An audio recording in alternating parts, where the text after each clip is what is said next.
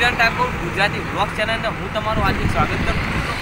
મિત્રો, ફરી એકવાર આજે આપણે ફરવા આવ્યા છે ધરોઈ ડેમ જોવા માટે. એટલે કે મિત્રો, આજે જઈને જોઈશું ધરોઈ ડેમ કેવો છે, કઈ પરિસ્થિતિમાં છે અને કેવી રીતે બનેલો છે. મિત્રો, હાલ હું હું અહીંયા ઊભો છું વડનગર અંબાજી હાઈવે ઉપર અને તમારે ધરોઈ આવવું હોય તો તમારે પહેલાં સતલાસના આવવું પડશે. સતલાસનાથી અહીંયાથી વાવ સર્કલે આવીને આઠેક કિલોમીટર જમણી બાજુ જવાનું છે. ત્યાં ધરોઈ ડેમ આવેલો છે મિત્રો. મિત્રો, આજે આપણે ધરોઈ ડેમ નિહાળીશું. મિત્રો, તમે તે પહેલાં મારી ચેનલને સબસ્ક્રાઈબ ના કરી હોય તો પ્લીઝ મિત્રો, મારી ચેનલને સબસ્ક્રાઈબ કરી લેજો. તો ચાલો મિત્રો, જઈએ ધરોઈ ડેમ જોવા માટે.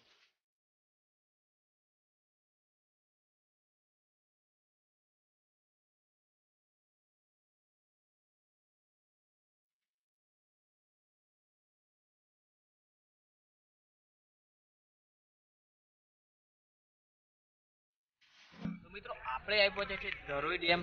એટલે કે તમારે ધરોઈ ડેમ આવવું હોય તો અહીંયા પેલી ચેક પોસ્ટ આવે છે. અહીંયા ચેક પોસ્ટ દ્વારા અહીંયાથી સીધે સીધો રસ્તો આ જાય છે ધરોઈ ડેમ. એટલે કે મિત્રો, તમે જ્યારે પણ આવો તો અહીંયા ચેક પોસ્ટે તમારે ઊભું રહેવું પડે છે. તમારું કોઈ આઈડી પ્રૂફ ગાડીનો નંબર, ગાડીનું લાયસન્સ જે પણ હોય એ બતાવવું પડે છે. તેનું નોંધ થાય છે. ત્યારબાદ તમને ધરોઈ ડેમ ઉપર જવા મળે છે. અને મિત્રો, એ પણ તમને જણાય કે ધરોઈ ડેમ ઉપર કોઈ પણ પ્રકારનું ફોટોગ્રાફી કે વિડીયોગ્રાફી કરવા દેવામાં આવતી નથી. તે મિત્રો ખાસ ધ્યાન રાખવું. તો મિત્રો, અહીંયાથી તમે સીધા ધરોઈ ડેમ બાજુ જઈ શકો છો. તો મિત્રો, આપણે ત્યાં જઈને નિહાળીશું ધરોઈ ડેમ. ચાલો મિત્રો, જઈએ તે બાજુ.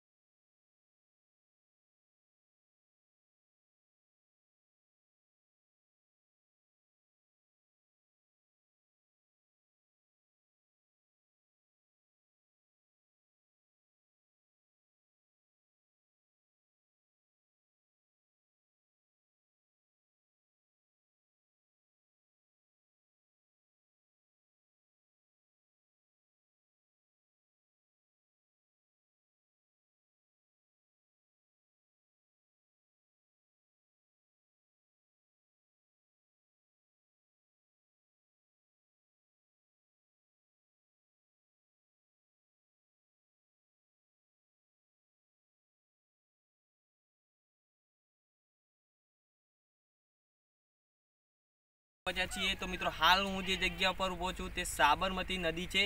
તો મિત્રો, અહીંયા તમે જોઈ શકો પાછળ સાબરમતી નદીની આજુબાજુ તમે ડુંગરાળ વિસ્તાર પણ નિહાળી શકો છો. અને આપણે હવે પાછળના ભાગમાં જોઈશું કે ધરોઈ ડેમ કેવો છે, શું છે, કઈ પરિસ્થિતિમાં બનેલો છે.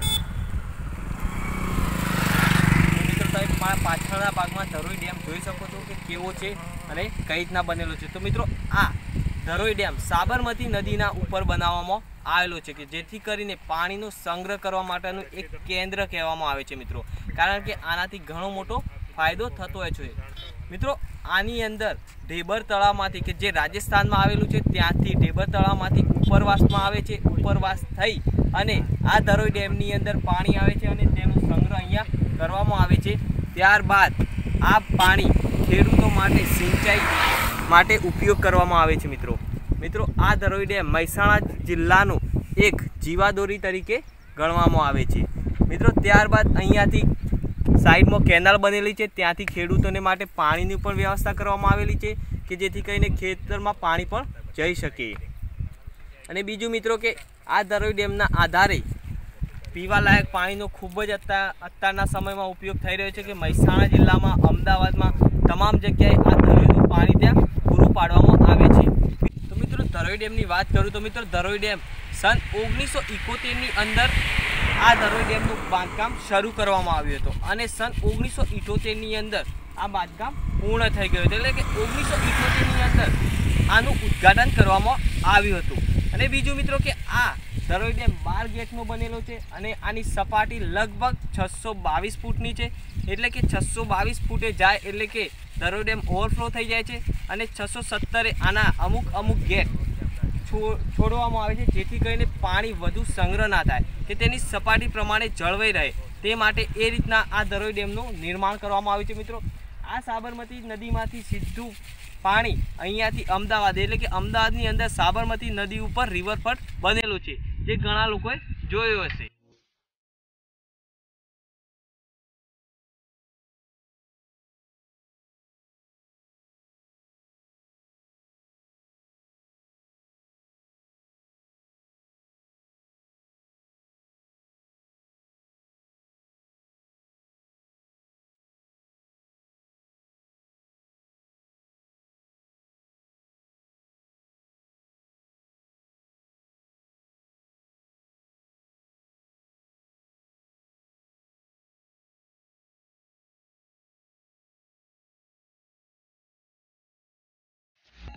મિત્રો, આજે આપણે નિહાળ્યું.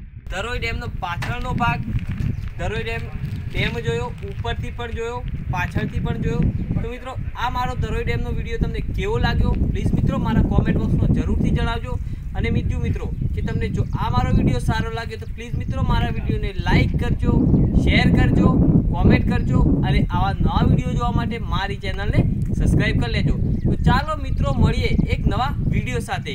એટલે કે મારા નેક્સ્ટ વિડીયોની અંદર. એ પણ ધરોઈનો જ વીડિયો હશે અને જે છે પાછળનો ભાગ, જેને બાબસર તરીકે ઓળખવામાં આવે છે, તે જગ્યા જોવા જઈશું. જે ધરોઈની પાછળનો ભાગ છે, તેને નિહાળીશું. તે જોઈશું કે તે કેવું છે, શું છે, તે જોઈશું. ચાલો મિત્રો, મળીએ એક નવા